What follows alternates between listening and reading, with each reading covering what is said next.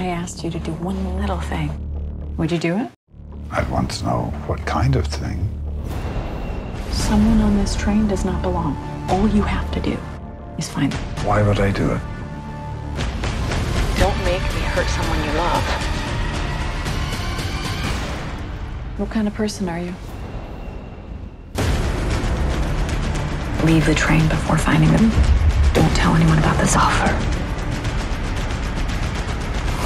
Idea who you're up against. You want to live? You stop this goddamn train now.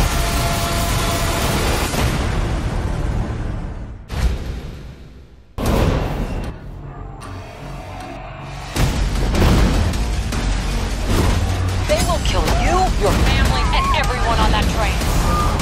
You want to live? You stop this train now.